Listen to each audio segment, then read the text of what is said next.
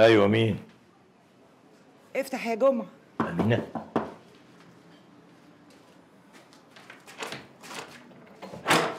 خير يا امين تعالى اتفضل اتفضل. خير يا أخويا اطمن وأنا يعني مش هاجي لك إلا لما تكون في مصيبة حصلت.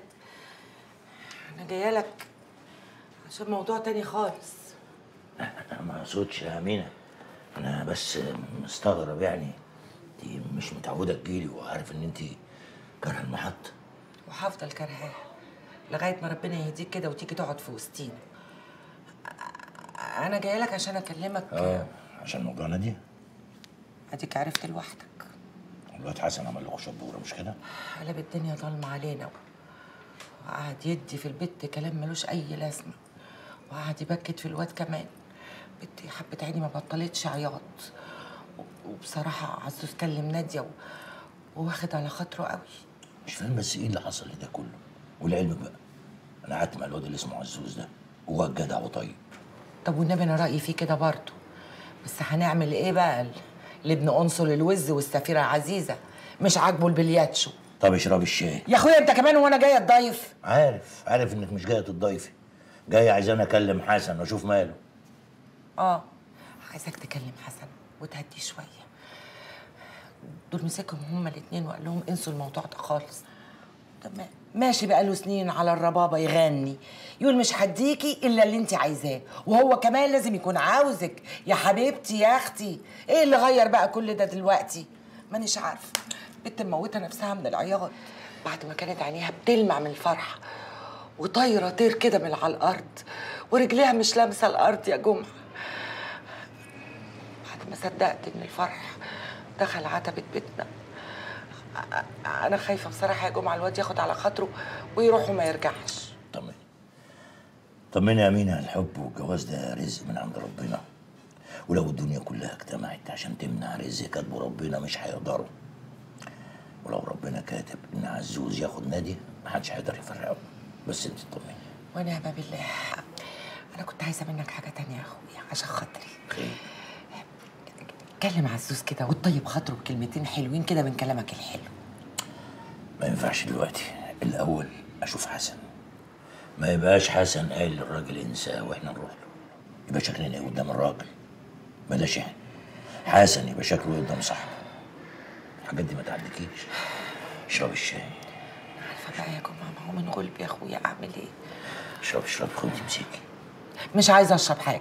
امسكي بقى دي بالك مده ما شربتي الشاي من ايدي. امسكي وأنا أحط لك في الشاي حاجة.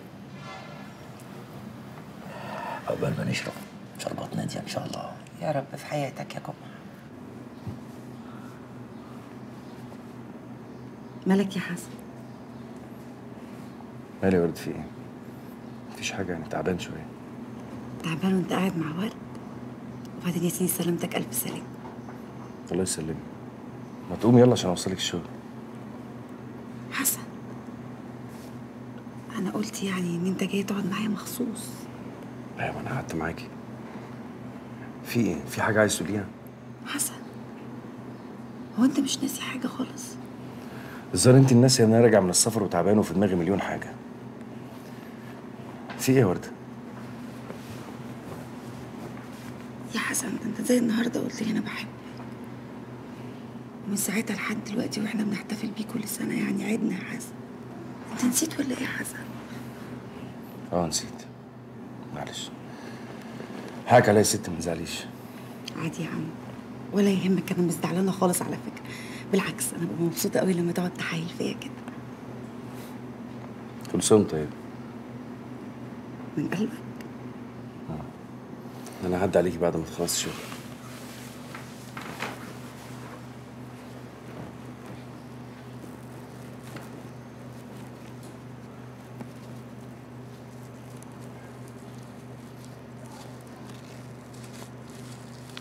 مش ممكن يا أكرم اللي أنت جايبها لي دي. ما بتبطلش عياط. دموع دموع آه، دايما دموع. إيه ده؟ طب هي راحت فين؟ نزلت تشتري شوية حاجات. أنت مش اديت لها فلوس. وقلت لها انزلي اشتري شوية حاجات. امم اديت لها فلوس. وما نزلتيش معاها ليه؟ ليه؟ هشتغل لها سكرتيرة كمان. يا أكرم بيه. لا ما اقصدش. أنا بس يعني قلت كنت نزلتي معاها نقيت لها كام حاجة على ذوقك كده. ذوقي؟ ذوقي ما يليقش عليها. وبعدين ذوقها يمكن يعجبك. شغلانتها بقى كمان وعارفاها. ده انت اتكلمتي معاها بقى وعرفتي حكايتها وحدوتتها. ما رضيتش انت تحكي لي. قلت أعرف بنفسي.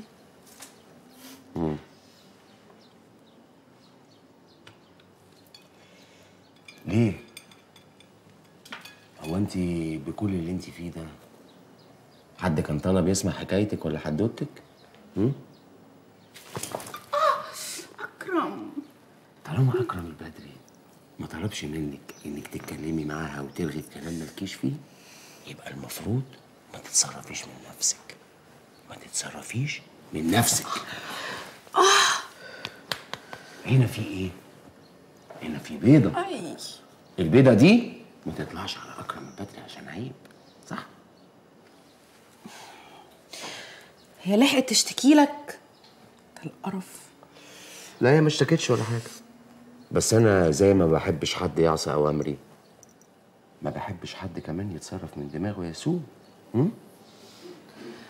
أنا الحق عليا. كنت بوعيها وبفهمها. شايفاها مسكينة وغلبانة. حرام. فاكراك بتحبها. تخيل. طب ما أنا بحبها فعلا. إيه؟ مستغربة ليه؟ بحبها. إيه؟ مفيش أخبار جديدة؟ أخبار جديدة إزاي؟ لا عارفة أروح لحد ولا عارفة أعزم حد وحبيبة القلب أنت حاططها لي هنا في البيت. آه ده انت بتغيري بقى. وما غيرش ليه يا أكرم. امبارح كنت ليا لوحدي والنهاردة جبت لي واحدة تشاركني فيك. ومش بس كده لا وكمان حاططها معايا في نفس البيت. يا جبروتك يا أخي. حبيبتي انت حاجة؟ وهي حاجة تانية خالص.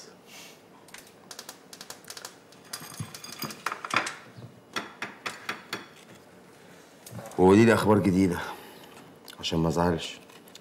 انت عارفة إن أنا زعلي وحش. خصوصا في المطبخ. وانت عارف يا أكرم إلا زعلك ما أقدرش عليه ابدا.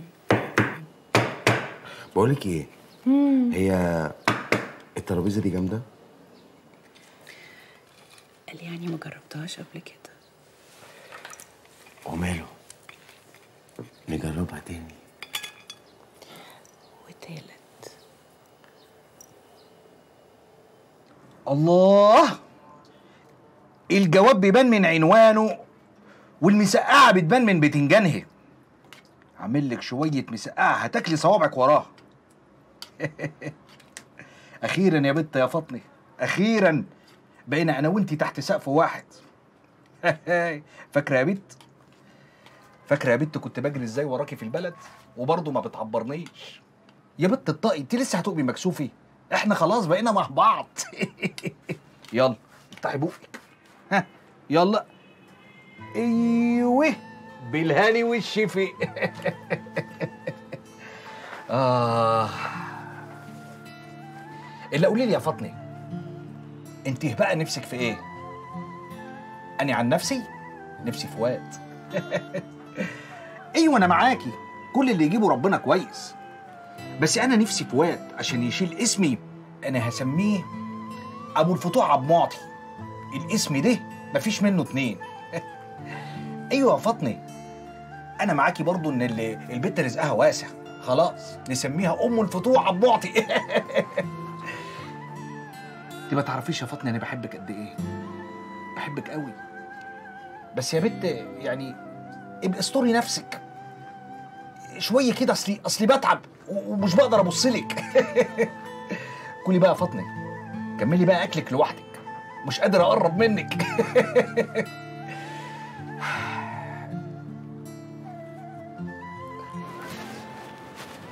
رخا يعني أنت جبت المشوار ده كله عشان تفتح معايا نفس الحوار. مش كفاية أنا ما كلمتكش على اللي عملته؟ اللي عملته؟ أنا عملت إيه بقى إن شاء الله يا ابن أختي؟ لما أكلمك يوم ورا التاني. ما تقوليش على عزوز تبقى عملت يا خالي. يا ابني في موضوعات ما ينفعش الكلام فيها في التليفونات. استنيناك لما تيجي عشان نقول لك. وديني جيت وعرفت الرد. انتهى الكلام. حسن يا فهمي صاحبك أنا قابلته. وللأمانة بقى راجل جدع وشهم وشاري خاطرك ودخل البيت من بابه. ولولا شغلك في مصر. كان فاتحك انت أول واحد. وأنا خايف على نادية. ومش عايز أكون مع عزوز. الله. ليه؟ عشان بلياتشو؟ لا عشان هتموت. عشان هما الاتنين سكتهم مش واحدة خال عايزني أقول حاجة تانية. آه. عايزك تقول حاجة خلك يصدقها يا حسن. الراجل عارف إن نادية عيانة وموافق. بيتهيألي كده الحكاية ملهاش علاقة بنادية بتهيألك ما أنت طول عمرك بيتهيألك حاجات كتير وما بتحققش. فيها حسن. أنا خالك ولا أنت نسيت؟ لا ما نسيتش. بس فين خالي بقى من 25 سنة؟ نادية دي شفتها فين؟ ولا شفتها فين؟ شفتها كم مرة يا خالي؟ أنا لولا إن أنا اللي بعدي عليك وأنت كل شوية في الرايحة الجاية كان زمانك ما تعرفش عننا أي حاجة. جاي النهارده محمق لها وخايف عليها. جاي النهارده بتعمل فيها أبويا وبتاخد قرار. بقول لك يا خالي اخلع أنت من الموضوع ده. خليك في الأوهام بتاعتك. جايز تتحقق السلام عليكم.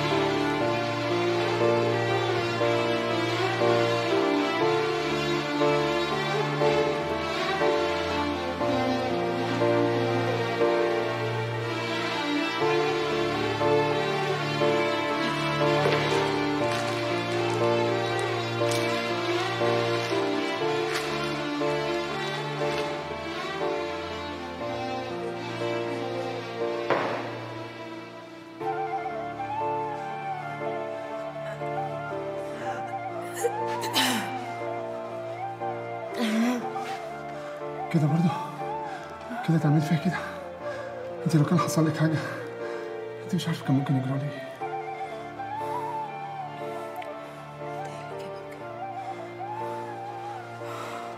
أول ما سمعت صوت الضرب نزلت من مكتبي زي المجنون لأن عارف إنك أكيد هتبقي هناك.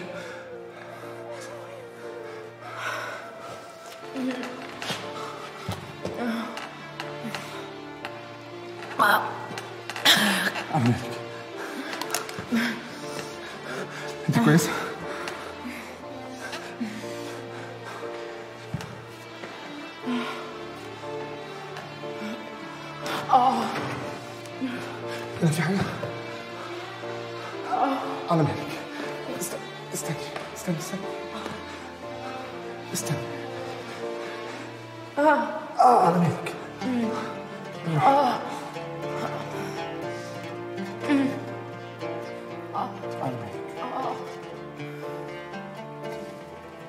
سمية ما تخلينيش أخاف عليك.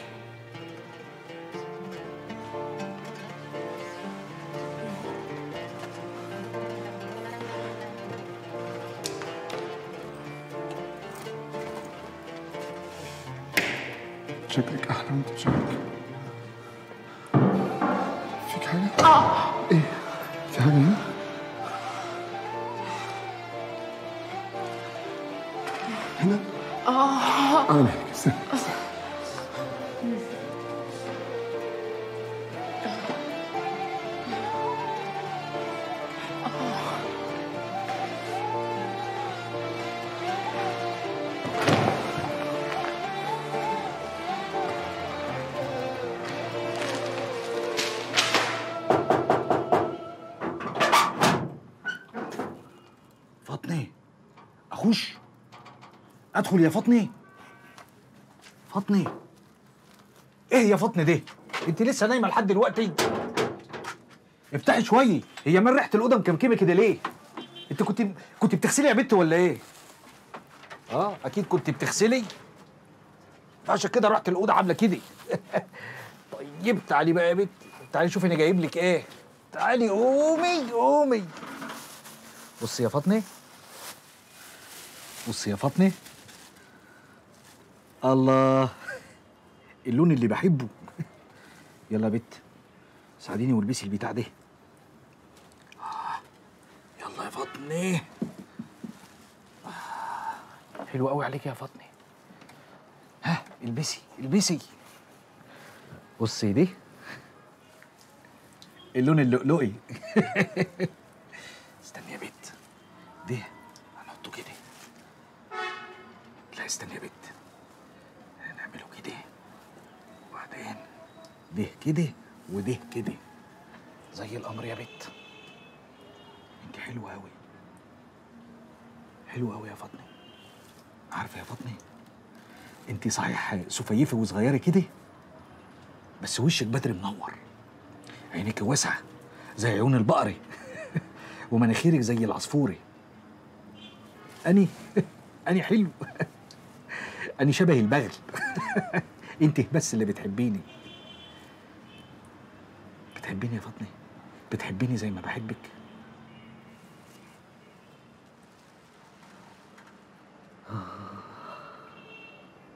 صدرك حنين قوي يا فاطمة. انت طيبة وحنينة. عارفة يا فاطمة اني لو كنتش اتجوزتك كان زماني اتجننت.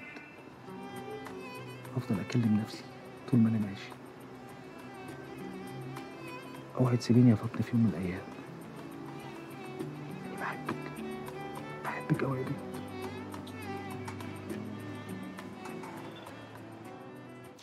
شكل سعادتك مش مبسوط. بالعكس. أنت عملت اللي أنا عايزه بالظبط وبزيادة حبتين. بس كان نفسي تكون معايا وتشوف حسرة عادل لما عرف بالمسرحية. المهم إن سعادتك اتفرجت واتبسطت. لو عايز نعيدها تاني مفيش مشكلة. سيبك منه خلينا في الأهم. اقعد يا حسن عادل ده صرصار. ملوش أي لازمة. عمر ما الدنيا دارت عليه ولا كانت هتدور أصلا. ركز مجهودك في اللي جاي عشان اللي جاي أصعب بكتير. والمسرحيات مفيش أكتر منها ما تقلقش. الفترة دي مش بتاعت مسرحيات خالص. الفترة دي عايزة سيناريو محكم. من كتر إحكامه يبان إنه ارتجال. مش فاهم تقصد إيه سعادتك الباشا هيدي الضوء الأخضر لأهم وأضخم مشروع استثماري في العشر سنين الجايين. جزيرة أمون. ومشروع ضخم زي ده هيخشوا أكتر من رجل أعمال. وكل واحد ليه مساحة شغله المرسومة على قده بالظبط. وممنوع بأمر الباشا إن أي حد يخش برجله على مربع اللي جنبه. بس لا مؤاخذة يعني هي فين المشكلة إن أنا عمري في حياتي ما اتنازلت عن رغباتي لأي حد. أي حد. المشروع ده بالكامل لازم يكون بتاعي بتاعي أنا لوحدي وهيبقى بتاعي. والله سعادتك عشان تتحرك براحتك كده وسطيهم. أنا شايف إن مفيش غير حل واحد. اللي ما يقدرش يخطي بره أرضه يخطي جواه لحد ما تضيق عليه. إحنا مش هنتعدى على حد. بالعكس. إحنا نخليهم هم اللي هيرجعوا لورا. هم اللي هيحتاجوا لك. هيجوا لحد عندك ويخليك تشاركهم. وعشان ده يحصل لازم يحصل حاجتين أول حاجة إن هما الاتنين يستغنوا عن بعض والتانية يحتاجوا لك. أيوه بس ده ما ينفعش في حدود الارتجال اللي إحنا اتفقنا عليه. لا ينفع يا باشا. ما أنت برضه سعادتك هتقدم لهم تسهيلات. هتحط لهم مسمار في كل مشروع من مشاريعهم. حركة يعني. حاجة ببلاش. يبان إن أنت يعني خدمتهم. لحد ما يحسوا إن هم محتاجينك في كل حاجة. وفي اللحظة المناسبة إنهم ساحبين المسمار. هيجوا جري لحد عندك عشان يتفقوا معاك من جديد. حسن أنا حاسس إن إحنا بنتكلم عن عيال صغيرة بتلعب في الحارة. أنا بكلمك عن رجال أعمال ليهم وزنهم في البلد. ده غير الباشا. سعادتك إيه اللي جاب سيرة العيال الصغيرة والحارة؟ ما إحنا هنعمل بيزنس بجد. وبعدين ده الباشا زي ما أنت قلت ما حدش هينفع يلعب معاه لا مش مطمن. حاسس إن الموضوع ده هياخد وقت كبير ومحتاج لدراسة. ما إحنا هنعمل دراسة فعلا. بعد إذنك يا باشا. سيب لنا الموضوع ده وصدقني مش هتندم. ماشي يا حسن. لما نتقابل بالليل نكمل كلامنا.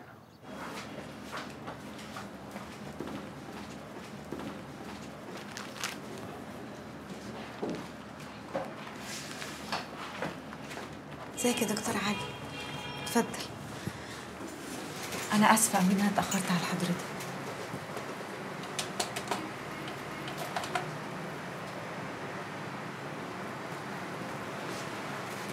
خير في حاجة؟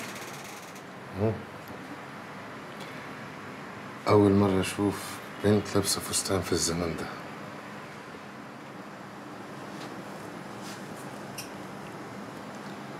أيوه يعني حلو ولا وحش حلوة أوي. وعارفة ليه؟ عشان الفساتين اتخلقت للبنات.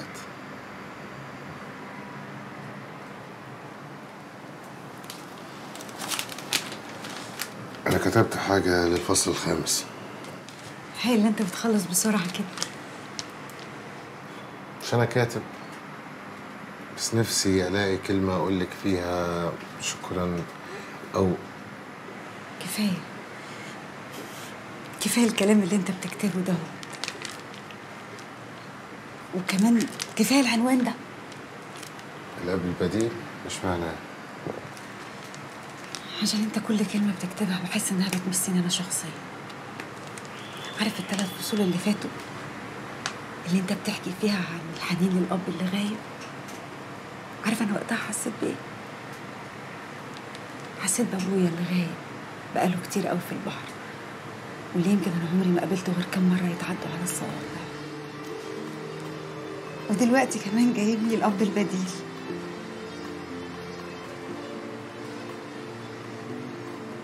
يعني بابا الرشيدي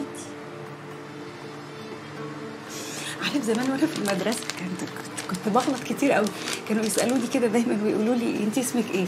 أروح أرد عليهم وأقول لهم ورد الرشيدي وارجع أقول لهم لا معلش معلش أنا آسفة. اسمي ورد محرم.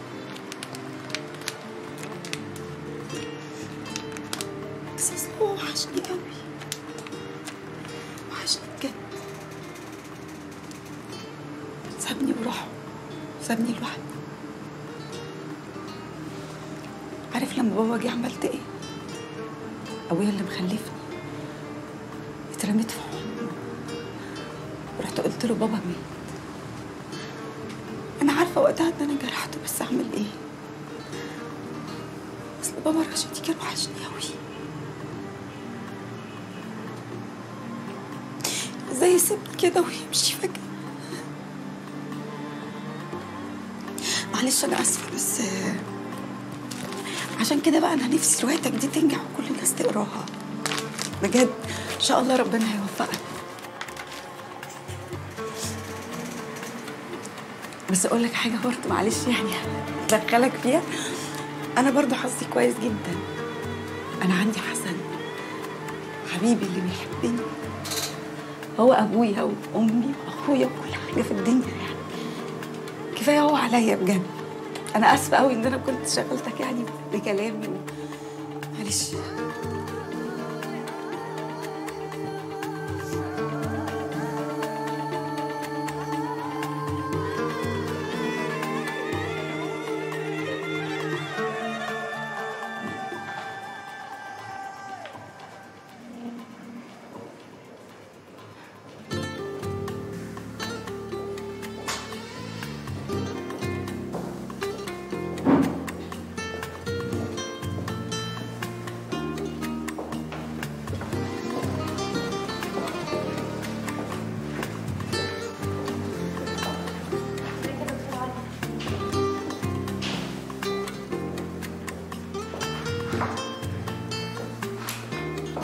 أيوه عليك بجد يعني خضتني. وبعدين لما خبط عليك هنا وأنت بره. أنت مش النهارده أجازتك؟ وبعدين أرجوك أرجوك تعزل بجد من هنا من ساكن الأطباء الغريب ده. إسكندرية واسعة جدا على فكرة. شوف أنت عايز تسكن فين وأنا بنفسي ادور لك على مكان. ممكن؟ أنا مرتاح. على إذنك. استنى استنى. أنا كنت جاية أصلا عشان أشكرك. على إيه؟ إنك خليتني أقرأ البوليس. على إذنك. مالك يعني في إيه؟ تعبان مخنوق. فاصل كده.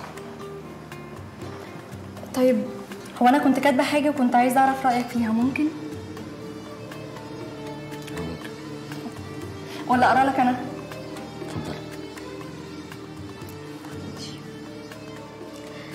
كلما رأيته اهتز قلبي بمشاعر جياشة وعشق عميق وكلما تجاهلني تعلقت به أكثر. فهو ذلك الوسيم الغاضب دائما كالأطفال الأشقياء. خلاص خلاص خلاص خلاص خلاص. إيه الكلام ده؟ إيه الكلام ده؟ أشقياء وأطفال إيه إيه الحب ده؟ حد يتجاهلك تحبيه؟ إزاي؟ حد يتجاهلك تحبيه؟ مفيش من الكلام ده. مفيش.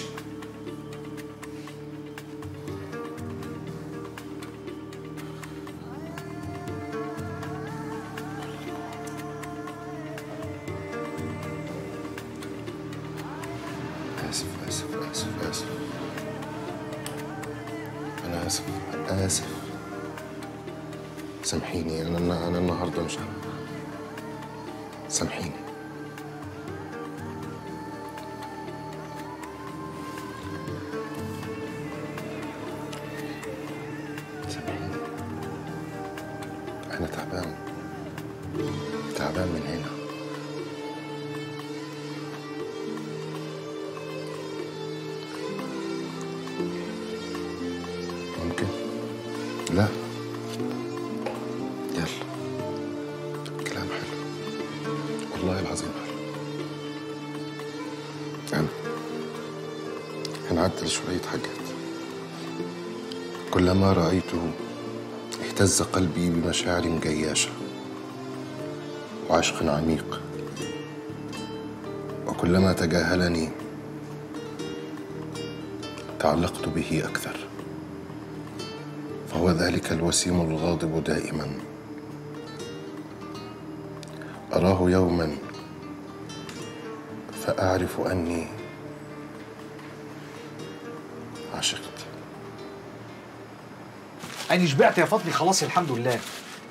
بقول لك إيه يا فضلي؟ أنا كنت عايز آخد رأيك في موضوع وكنت خايف أكلمك فيه.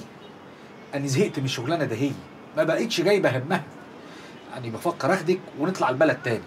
قلت إيه يا فاطمة؟ إيه؟ عندك حق يا فاطمة إحنا نصبر شوية لحد ما نعمل قرشين ونطلع البلد نعمل مشروع. نفتح كده نصبة فاكهة زي أبوها وزيه ليه؟ أني أشارك أبوكي. مش هاني جوز بنته ويبقى زيتني في دقيقني. زيتني في دقيقني. لا تبقى بطخني في منجتني. عارفة يا فاطمة؟ أنا مبسوط قوي حاسس كده الدنيا هتزهزه والرزق هيخبط علينا بابه أنت عبد الماضي؟ لا أيوه أيوه أنت هتهلي؟ ده إن شاء الله. بس انت بيعمل عندك هنا إيه روح أمك؟ يا باشا. تهرب من المتحف وفرحان بروحك؟ لا يا باشا أنا ما سرقتوش وربنا ما سرقته يا هاتوه، باشا هاتوه. قول لهم يا فاطمة قول لهم يا فاطمة إن- إني ما سرقتش حاجة. يا فاطمة يا فاطمة. يا- حسن رجع من مصر يا عزوز طايح في الكل. ومحدش بقى عارف ماله. زعيقه بصيته. حتى الطريقة اللي بيعاملني بيها. مش ده حسن أخويا اللي حسن معاه حاجة يا نادي حسن معاه حاجة. مش قصدي في معاملته ليكي بس حطي نفسك مكانه. هاني صاحبه كان المفروض يعرف مني. مش يرجع من السفر يلاقي أمه وأخته وخاله عارفين وهو آخر من يعرف. دي المشكلة يا عزوز ولو زي ما أنت بتقول يبقى لازم أنت اللي تكلمه وتصالحه أيوه هكلمه طبعا. هكلمه وصلح صح مالك يا عزوز ليه حاسة كده إني مش فارقة معاك؟ إيه الكلام اللي بتقوليه ده. مش فارقه معايا كيف يعني يا نادي أنا بس بفكر بفكر في حسن. خايف على أخته. مش عايز يجوزها بلياتشو. ماله البلياتشو يا عزوز؟ وبعدين هو أنت اتخلقت بلياتشو؟ يا عزوز أنت راجل كويس ومعكش حاجة. يعني ممكن تشتغل أي حاجة دور على شغل واللي يدور هيلاقي. يا نادي يا نادي الموضوع مش موضوع بلياتشو وشهادة.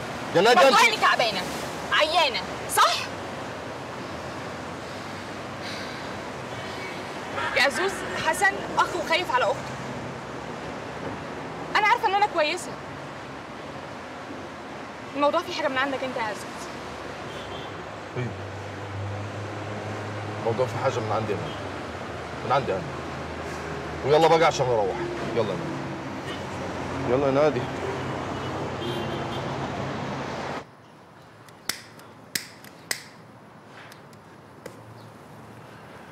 ها يا عبد المعطي في حد تاني شارك معاك في السرقة ولا أنت قمت بيها لوحدك؟ والخدمة الشريفة يا بيه أني ما سرقت حاجة ده أني بخاف من ضلي يا عبد المعطي كل اللي شغالين في المتحف قالوا في التحقيق إنك كنت بتسيب القاعة كلها وبتقف قدام التمثال ده بالساعات. أنا كنت بقف قدامه علشان كان بيفكرني بقول لك يا عبد المعطي بلاش والاستعباط. اعترافك ممكن يخفف عنك الحكم. لكن لو ما قلتش مين اللي ساعدك هتشيل القضية لوحدك. عايز تشيلها لوحدك؟ حضرتك دي بريء. عليا النعمة أني بريء. يا عبد المعطي سجل الحضور والغياب في المتحف متقيد فيه إنك غبت في نفس اليوم اللي حصل فيه سرقة التمثال. كنت فين في اليوم ده؟ في البيت يا بيه هو أني بروح حتة تانية. أني لما بعوز أنزل ما بروحش غير حتتين. يا إما بنزل على الزاوية بصلي يا إما بروح المتحف الشؤم ده. وربنا. وربنا يا بيه. أنا بمشي جنب الحيط. جوه الحيط. كل أملي في الدنيا. إني أعيش مستور ومتداري زي بقية الناس. معرفش ليه المصايب بتحط فوق راسي. بريء أنا بريء تعالى يا عسكري خد الورق تمام يا فندم. بريء التمثال ده مضروب التمثال ده مضروب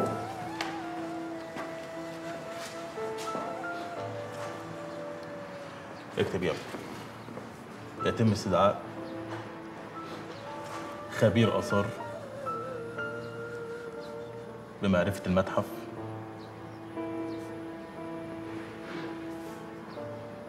في تاريخه وساعته. أقفل المحضر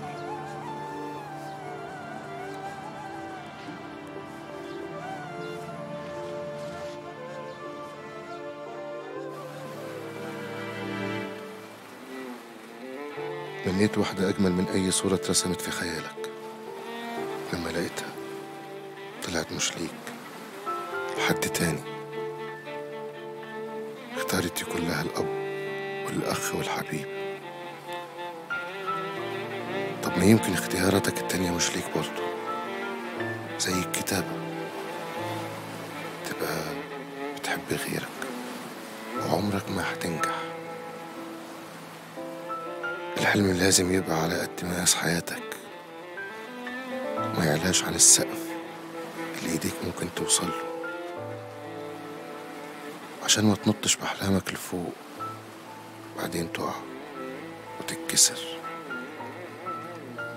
تتمنى لو كنت واحد تاني ما بيحلمش. أنا طول عمري بشوف مشاريع سعادتك بس ما أعرفش إن هي معقدة قوي كده يعني. ده بيتهيألك ولا معقدة ولا حاجة. كل حاجة كبيرة متقسمة لحاجات أصغر فأصغر فأصغر المشروع عبارة عن أرض وخدمات وتصاريح والتصاريح بقى على وزن كل رجل أعمال وتقله في السوق. عادي يعني. بعدين سعادتك. عارف يا باشا؟ يا ساعات كده كنت ببص على الناس اللي بتجري ورا الفلوس ليل نهار. مش عارف بيعملوا كده ليه مع إن عندهم اللي يكفيهم وزياده حبتين كمان. ما تنساش إنك قاعد مع واحد منهم. في إيه؟ ما أقصدش يا باشا أنا آسف. ساعتك غيرهم طبعا يعني. لا ولا غيرهم ولا حاجة. أنا زيهم بالظبط. بس الحكاية بقى مش حكاية طمع زي ما أنتوا فاهمين. لا الحكاية عبارة عن تراك مقفول. دايرة ملهاش أول من آخر. وطالما بدأت تمشي فيها شوية وهتلاقي نفسك بتجري. عمرك ما هتقدر تقف. عارف ليه؟ عشان لو وقفت اللي جاي من وراك بسرعته هيطيرك بره التراك. هتلاقي نفسك رجعت تاني من الأول. خسران كل حاجة. يعني الطيار هو اللي بيمشينا ما بنمشيش بمزاجنا. صح. بس الذكي بقى اللي يحول الطيار ده لمزاج. ويلعبه صح. وأهم قاعدة. مفيش آخر لأي حاجة. فكرتني بأبويا الله يرحمه يا باشا. كان دايما يقول لي كده لما توصل للآخر ارجع للأول تاني. مات يا حسن. أبوك مات. إيه؟ هتفضل عايش بأفكاره ومعششه جواك يا حسن؟ عندك حق هو مات. قول لي يا حسن. أنت بتشرب؟ لا يا باشا ما بشربش. ليه يا حسن؟ ده الشرب حلو قوي بس مش نشرب اللي تشوفه سعادتك. عموما بكرة هتتعود. صحيح يا حسن. أنت متجوز؟ خاطب مصاحب شائط لا يا باشا. يعني ما عندكش واحدة في حياتك؟ ما عندكش حلم؟ مات. مات مع ابويا الله يرحمه.